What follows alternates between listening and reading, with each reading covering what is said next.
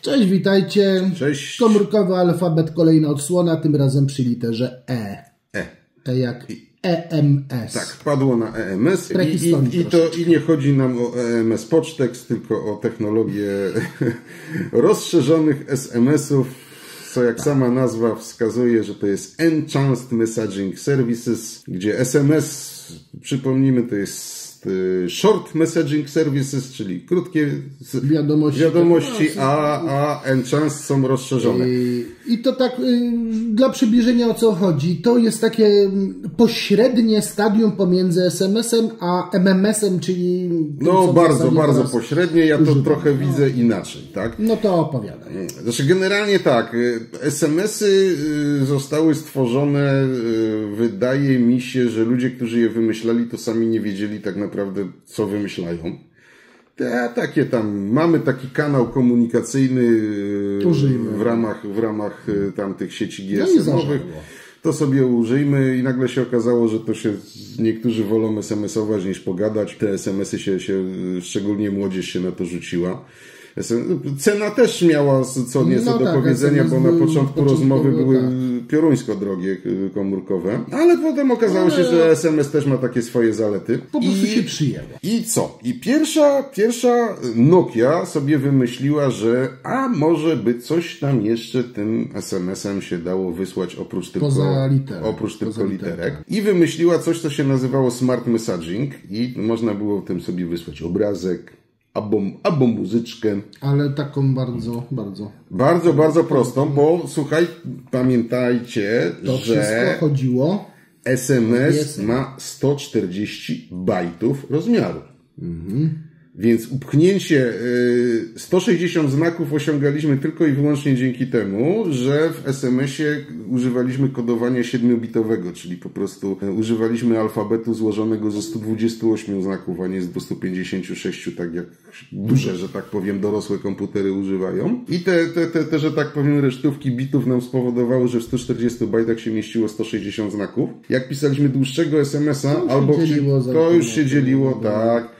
Też różnie, różnie z tymi telefonami było, bo Tak, no. niektóre to potrafiły obciąć, A niektóre niektóre nie. dzieliły, z automatu wysyłały dwa, później było żdziwko przy rachunku. Tak, tak, tak, tak, że oje, a ja wysyłam tylko 20 SMS-ów, a tak, Tak, tylko że niektóre pokazywały, ile znaków nam jeszcze zostało. Tak, ale mniejsza o to. Inne, nie? Generalnie to, technologia była naprawdę bardzo mocno ograniczona i naprawdę duży podziw dla ludzi, którzy wymyślili w jaki sposób zapakować melodyjkę w tak mikroskopijnych ilości danych a, albo obrazek. tak, melodyjka mogła mieć nawet mniej, bo 128, także Ale to EMS-owa. Ta, ta Nokiowa tak. mogła mieć pełny rozmiar, e, no. pełny rozmiar. Nawet Nokia wymyśliła coś takiego, że nie pamiętam czy melodyjki, ale na pewno obrazki można było wysyłać na dwóch SMS-ach.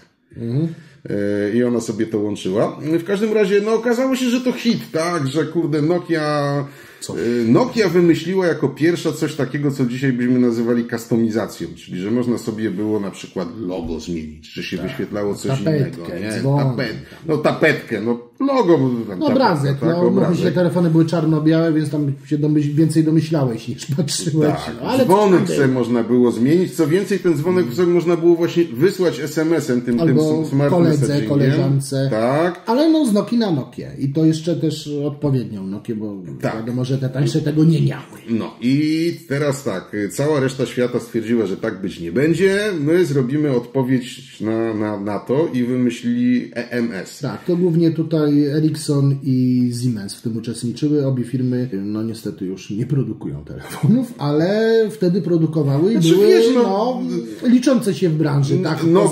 Nokia, ta, która jest teraz, to też No nie ma tak, nic no. wspólnego z tamtą I Nokią, też, więc... I też można powiedzieć, że nie produkuje telefonów, tylko jakieś, dobra, nieważne. E, w każdym bądź razie, e, no, myśleli, myśleli i wymyślili. No i zrobili. Tak. E, I powiem tak, bo akurat e, no, pracowałem przy tym, bo, bo między innymi robiliśmy wtedy serwisy, które wysyłały dzwonki na jedno i na drugie. I powiem, że naukowo, profesorsko, inżyniersko standard EMS był lepszy. Natomiast w praktyce ten smart messaging Nokiowy dawał większe możliwości. Po prostu- Mm, Na przykład to, co powiedziałeś, że no. dzwonki, dzwonki w e, EMS-ach były ograniczone do 128 bajtów. No tak, no. A ja powiem jeszcze tego, czego nie piszą na Wikipediach i różnych innych rzeczach, że były też ograniczone skalą muzyczną. Jeżeli chodzi o ilość, ilość oktaw, które miało się do dyspozycji i na przykład no, słuchajcie, to był dzwonek monofoniczny, który brzęczał na, na, na, jednym, na jednym brzmieniu, takim dosyć nieprzyjemnym, cyfrowym. Zrobienie muzyczki, która będzie się dosyć jednoznacznie kojarzyła z jakimś znanym przebojem radiowym, to naprawdę była duża sztuka. A w momencie, kiedy jeszcze ci kurczę ograniczyli, Właśnie, kiedy miałeś ograniczyli to... ilość nutek, pasmo muzyczne i tak dalej, no to już w ogóle naprawdę, no niektóre no rzeczy... No po prostu to... te brzmiały gorzej. No.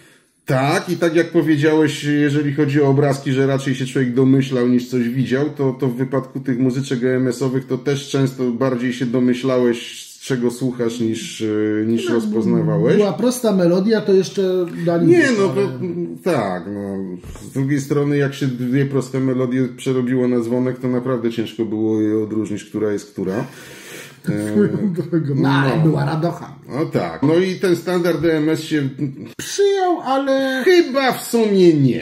To y, znaczy... Przyjął o tyle, że był wykorzystywany, natomiast na pewno nie zyskał takiej popularności jak SMS, nawet może tam paru procentach. Nawet nie uzyskał takiej popularności jak ten Nokiowy Smart Messaging, ponieważ Nokia po prostu wcześniej no, zaczęła. I była tak naprawdę no, liderem rynku. A powiedzmy sobie szczerze, że EMS tak na faktycznie to zaistniał gdzieś w 2002 roku. I to tak na chwilę, bo potem już... Bo zaraz, zaraz już za rogiem były MMS-y no i to tak, wszystko no po prostu było... na sieć kolejnej generacji i już nie było ograniczeń wiążących się też z siecią po... 2G, bo tak, EMS pojawiły się... chodził po 2G, pamiętam. Pojawiły, pojawiły się sieci najpierw 2,5G, potem już zupełnie Dokładnie. 3G, pojawiły się MMS-y, pojawiły się kolorowe wyświetlacze, aparaty w no telefonach, no i ogólnie, poszło, no. ogólnie szliśmy już w stronę najpierw feature fonów, a potem smartfonów. Dokładnie. I... Już nie był potrzebny jakby ten standard chodzący po... Więc można powiedzieć, że umarł zanim się tak naprawdę zaczął. Natomiast no,